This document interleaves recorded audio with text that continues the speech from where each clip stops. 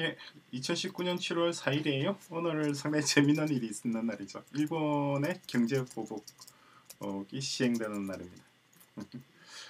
그래서 어, 생각나는 일이 있어서 좀 음, 말씀을 좀 드리려고 그래요. 근황도 말씀을 드리고 그래서 이게 경제 보복인데 주로 소재와 그리고 부품이라고 해야 되나요? 그리고 장치 이런 것들이 소재 관련해서 생각이 좀 납니다. 제가 어, 일단 현재 근황부터 좀 말씀드릴게요. 지금 Rust programming language 강의를 어, 준비를 하고 있습니다. 어, 근데 그냥 단순한 강의가 아니라 어, 초등 과정부터 해서 중등, 고등, 대학까지 이렇게 시리즈로 에피소드로 대략 1500개에서 2000개 정도를 준비를 하고 있어요. 굉장히 많은 에피소드를 준비하고 있죠. 이게 왜 그러냐니까 제가 그동안 여러 가지 언어들을 다루었습니다. 그래서 뭐 굉장히 많은 언어 강의가 올라가 있어요. Python부터 해서 뭐 JavaScript라든가 TS라든가 등등을 올렸는데 모든 언어들이 다 어느 정도의 한계와 결함이 다 있었습니다. 그런데 어, 그렇지 않은 언어, 어, 지금 Rust language예요. 그래서 너무 신나서 지금 굉장히 열심히 하고 있습니다. Haskell도 다루고 있었는데 Rust가 왜 이게 상당히 좋냐니까 이전에 있던 언어들이 가지고 있던 단점들을 다 해결을 하고 있습니다. 그래서 그리고 또 Rust에는 이 Haskell 언어의 향이 굉장히 진하게 배어 있어요. 어, 되게 Rust는 imperative language니까 Haskell하고 상관이 없다. 라고 생각이 쉬운데 그렇지 않습니다. 어, Haskell의 그 어떤 핵심 사상들이 많이 들어가 있습니다. 그것도 상당히 재밌어요. 그래서 어, 기초 과정, 초등 과정부터 해서 대학 고급 과정까지 해서 어, 교재가 10건이 넘어요. 10건이 넘는 교재를 1,500개 정도의 에피소드로 지금 정리하고 있습니다. 그게 지금 하고 있는 거고요. 아마 다음 주부터 해서 어, 중등 과정부터 어, 강의 에피소드 올라갈 겁니다. 대학 과정까지 마치고 초등 초등 과정은 제일 마지막에 할 거예요. 왜냐니까 어, 제가 녹화를 해보니까 초등 과정 녹화가 제일 어려워요. 정말 그렇습니다. 그래서 중고 대학까지 마치고 난 뒤에 초등이 가능합니다. 자, 그게 제 근황이에요. 그리고 원래 말씀드리겠던 일본의 소재 산업과에서 좀 말씀을 좀 드리고 싶은 게 있는데 제가 예전에 비행기를 만드는 공장이 있었다고 항공 산업에 아주 잠시 항공 산업에 아주 잠시 머물렀습니다. 그래서 하면서 뭐 어, 미국의 뭐 보잉이라든가 이런 회사들이 비행기를 만드는 게 어떻게 절차로 만드는지 아주 깊이 있게 볼 수 있는 기회였고 그리고 위성도 어떻게 제작하는지 가까이서 지켜볼 수 있는 기회였는데 어, 재밌는 거는 제가 이 있던 회사 근처에 음, 포크레인이나 어떤 자동차의 어, 뭐라고 해야 되나요? 이거 외장재라고 하나요? 포크레인을 예를 들면 포크레인의 껍데기라고 할까요? 껍데기. 포크레인 알맹이는 엔진이 있고, 그죠? 엔진 있고 포크레인 우리 눈에 보이는 포크레인의 모습 있잖아요. 그걸 이제 만드는 게 이걸 어 찍어 기계로 찍어내요. 어, 기계로 찍어내는데 여러분 뭐 FRP라든가 뭐 이런 거 들어보셨는지 모르겠습니다만은 어떤 주형 뭐 주물 뭐 조형 뭐 등등의 얘기를 합니다. 하여튼 포크레인 껍데기를 찍어냅니다. 그게 플라스틱도 아니고 쇠도 아니에요. 예전에는 포크레인에 그러니까 자동차처럼 철판이나 강판이나 알루미늄판, 스테인리스 등을 썼는데 어, 제가 볼 때만 하더라도 이것을 어, 뭐라고 해야 되나요? 이상한 액체들을 어, 로서 구워냅니다. 근데 그 액체를 어디서 만들 가져오느냐니까 일본에서 가져와요. 액체를 수입 그리고 일본에서 일본에서 액체로 수입한 다음에 요것을 이제 주형에 넣고 몰드라고 그러죠. 몰드에 넣고 그런 다음에 옆에서 지켜볼 일이 있었는데 몰드에 넣고 이걸 이제 일정한 열과 시 열을 가죠. 열을 가하고 그리고 숙성이라고 해야 되나 숙성 시간을 가지면은 요게 경화됩니다. 경화된 다음에 단단한 단단한 포크레인이나 뭐 지게차 등의 등의 외부 패널이 만들어져요. 네. 그런데 이제 뭐 보니까 이게 굉장히 비싸요. 그래서 일본 사람들이 막 오고 그러더라고요. 옆에서 보니까. 네, 일본 사람들 오는 것도 보고 했는데 굉장히 비싸게 수입을 하고 그러니까 한국에서 만들어내지만은 한국에서 생산하지만은 실제 이익의 대부분, 이익의 대부분은 일본의 소재업체, 소재 업체죠. 화학입니다. 화학 분야입니다. 업체로 들어가게끔 그렇게 구성되어 있더라고요. 그래서 아, 저걸 왜 우리나라가 저걸 못 만드나라고 했는데 그게 벌써 10년 전 지금 얘기입니다. 지금 하는 말은 지금 어떨지 잘 모르겠어요. 10년 전이에요. 했는데 요게 똑같은 이런 패턴이 그러니까 정밀 부품이라든가 소재 부품 장치 특히 화학이죠. 화학 등의 일본이 오고 일본에서 가져와서 한국에서 이걸 기초로 해서 뭔가를 만들어서 이제 대외에 수출하고 이게 상당 부분이 일본으로 들어가고 그래서 어, 일본에 대한 무역 적자가 수십조 원이죠. 매년 수십조 원의 무역 어, 적자를 한국에서 보고 있는 그런 구조입니다. 그런데 거기에 건드린 것이 이번에 7월 4일날 일본의 이제 경제보복이죠. 소재를 부품 장치를 한국에 보내주지 않겠다. 그러면 한국은 못 만들지 않느냐. 그렇죠. 일본에서 액체를 수입하는데 이 액체를 수입 못하면은 포크레인 등의 외부 패널을 만들 수가 없죠. 그럼 한국에서 왜 이걸 10년 전인데 아직도 이러고 있느냐 하는데 이 10년 전이 아니라 수십 년 전부터 그런 겁니다.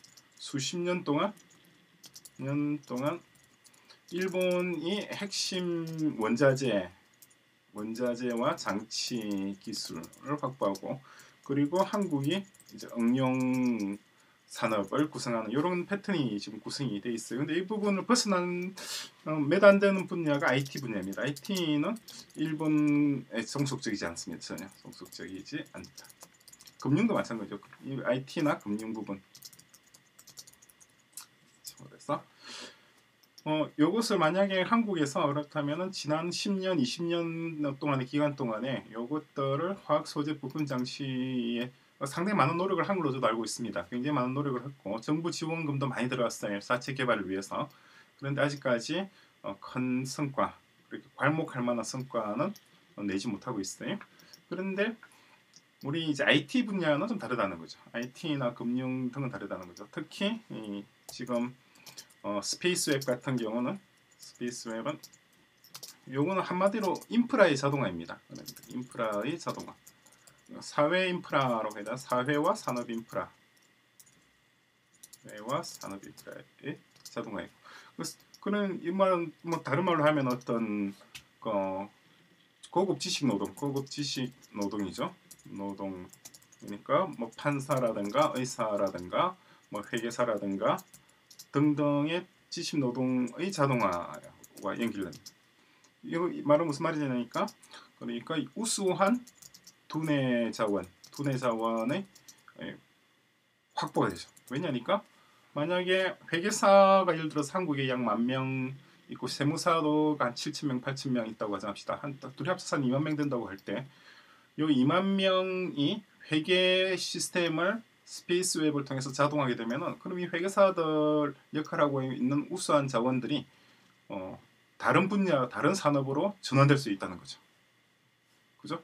만약에 금융도 마찬가지입니다. 우리나라 은행에 어떤 근무하고 있는 예를 들어서 어, 국세청과 어떤 기업 회계, 회계 과정의 자동화, 자동화가 되면은 그러면은 회계사, 세무사 등의 전직이라고 해야 되나요? 전직과 재교육이 이어지게 되고 그리고 따라서 여타 산업의 우수한 인재들이 유입될 수 있는 구조가 구성된다는 거죠. 그게 Space Web입니다. 처음부터 그렇게 구성이 된 거예요. 그리고 이것이 시스템이 잘 동작한다면은 그러면은 다른 나라 다른 국가들도 한국의 이런 모형을 따라 모방할 수가 있지 않느냐는 거죠.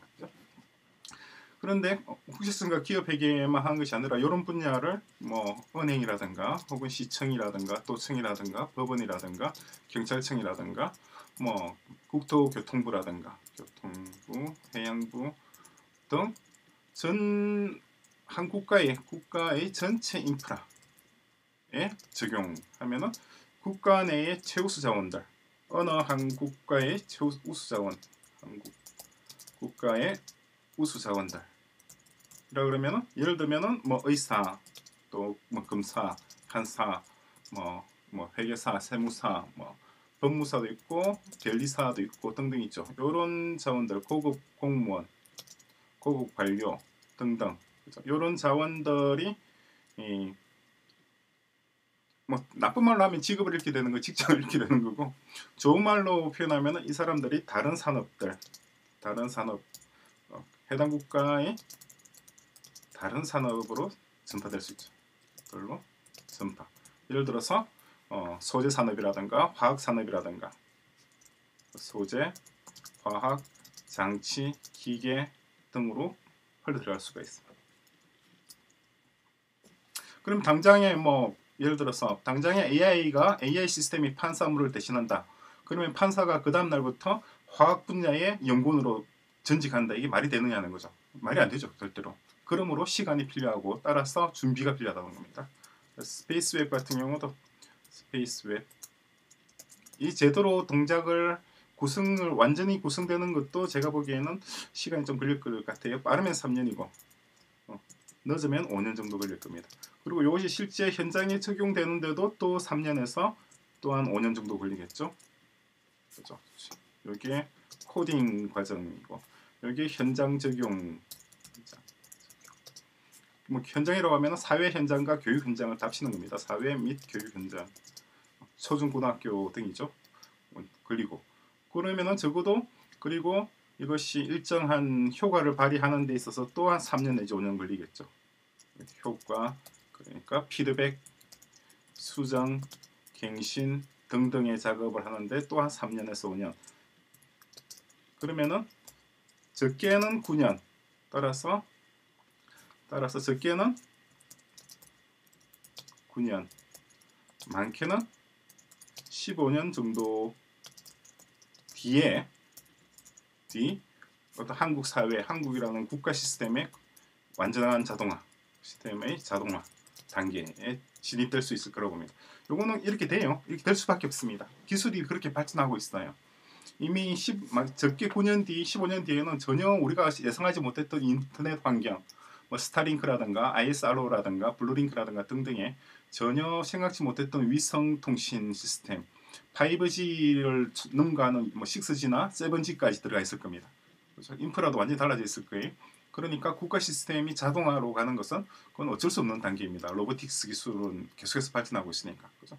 그러면은 그렇다면 15년 짧게는 9년, 길게는 15년 뒤에는 적어도 지금의 이런 상황은 발생하지 않을 거라는 거죠. 일본의 경제 보복 시행되고 한국이 거기에 의해서 GDP 수치, 예상 수치를 조정하는 그런 일은 있을 수 있지 않을 거라는 겁니다. 어, 우리가 10년 전에 그러니까 제가 일본 그 한국 친구들이 그, 그 중장비 회사예요. 중장비 회사에서 액체를 수입을 해서 이렇게 하는 요 과정들을 봤는데 그때 그게 벌써 10년이 넘었어요. 한 11년, 12년 좀 전인데 그때 미래를 그 양반들이 준비를 했다면은 아마 이 사람들은 10년 정도 기간 동안에 어떤 화학적인 그 화학이라고 하는 것이 그렇게 뭐 어려운 건 아니에요. 미국, 일본이 소재 산업, 화학 산업이 굉장히 발전돼 있지만은 그래도 미국이나 독일에 비하면 아직까지 97, 98% 수준밖에 안 됩니다. 음, 아직이나 미국이나 독일을 못 따라가고 있어요. 어, 그럴 수밖에 없는 유독도 있긴 하지만 어쨌거나 이게 한국이 절대 못할 그게 아니라는 거죠. 10년 전에 만약에 그 회사가 어, 어떤 어, 그 일본으로부터 이 액체 수입하는 걸 대체할 수 있는 자체의 기술 개발에 꾸준히 아마 준비를 했다면 지금쯤 이 회사는 일본에서 액체를 수입하는 것이 아니라 자체적으로 이걸 만들어서 이런 패널들을 생산하고 있을 거예요. 그런데 그럴지 어떨지는 모르겠어요. 안 가본 지가 오래돼가지고. 어, 그래서 생각난 김에 말씀을 드리는 겁니다. 우리 스페이스웹은 9년 음, 코딩하는데 3년, 5년 어쨌거나 9년이나 10년 뒤에 지금도 이미 IT나 금융 분야가 어, 일본에 뒤처져 있는 건 아닙니다만 9년이나 10년 뒤에는 한국의 전체 산업 구조, 사회 구조가 일본과는 비교할 수 없을 만큼 앞서 있을 겁니다. 왜냐니까 바로 space web coding 같은 것들이 어, 한국에서 또 저팀 주피트뿐만 아니라 어, 많은 사람들이 다양한 형태로 준비를 하고 있기 때문이죠.